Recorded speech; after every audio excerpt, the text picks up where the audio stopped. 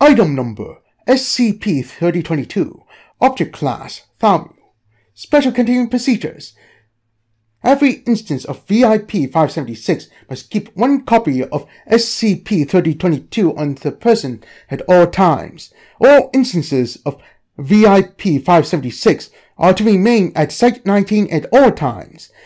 Redundant copies of SCP-3022 are kept in storage lockers 813 A, B, and C.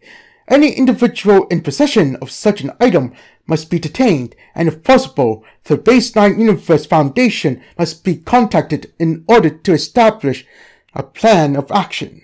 Monomyth Protocol. All restrooms at Site-19 possess hooks affixed to the interior of each stall via an electromagnet.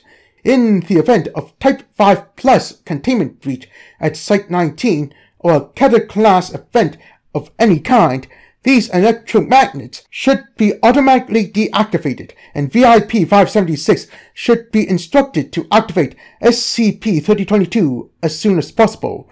All alternate universe foundations with which the Base 9 Foundation is in contact must also follow this protocol, whether or not they possess a copy of VIP-576.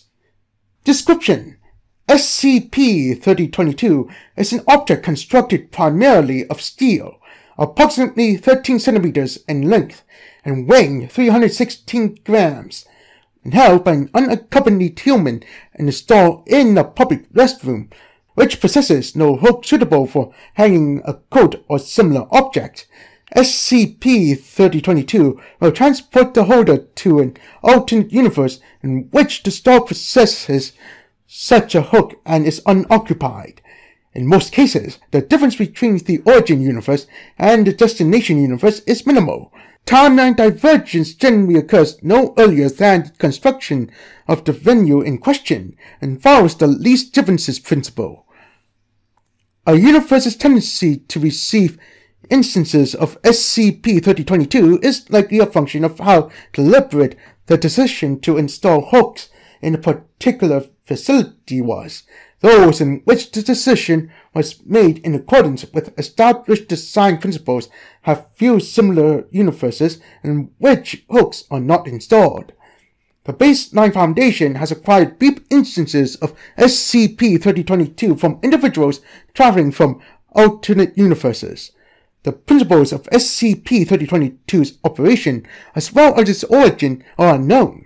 It was originally discovered from the position of Beep, a civilian who appeared inside SCP-984 on 2016, August 8th. He was attacked by a rabid grizzly bear while inside SCP-984 and escaped with fatal injuries. Prior to Mr. Beep's death, it was established that SCP-984 displayed no anomalous properties in his baseline universe, and that he had received SCP-3022 from an unspecified friend. Investigations of the baseline native Mr. Beep has found no involvement with anomalous activity and failed to locate any instance of SCP-3022. Addendum SCP-3022 is the only portable item in the Foundation's possession that enables substantial cross-universe transportation.